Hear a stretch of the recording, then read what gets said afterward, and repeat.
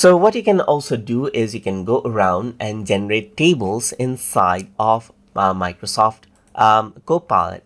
So over here you can see that I am in the home page and what I'm going to do is I'm going to give it a prompt. Like let's say for example make a table of um, of um, uh, different different types of fruits. Or I'm going to go around and set a restrictions make a table of 10 different types of fruits right here.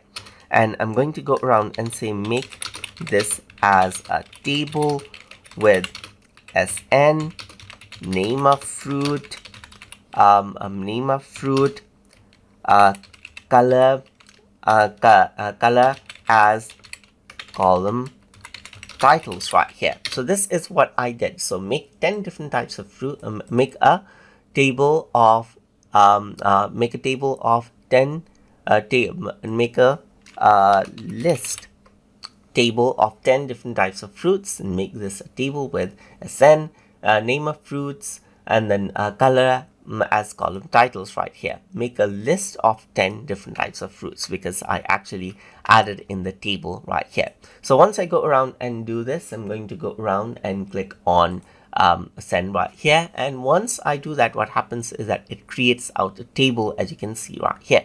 So you can see that you got the SN, you got the name of fruit right here, and you got the color as well. And you can see that this is what you have as you can see right here. It, it, it, it even gave the pictures as you can see right here, just like this, as it is possible right here. So this is what you have. So you got the table and you can even see that edit in Excel is an option. So if I were to actually go around and click on this, then what happens is that it tells me to sign into my account right here um, and then you can see that it actually goes around and then exports it out the table out into Excel as well. So you can see that it opened out Excel and this is saved on your OneDrive and this is the prompt that is um, um, uh, that it um, that Copilot gave answer to right here. And you can go ahead and format this according to how you want right here. So this is what you have as you can see right here. So you can go around and format it out in Excel as you want and then change it out according to how you want just like this. So that is how you can generate tables inside of Microsoft Copilot.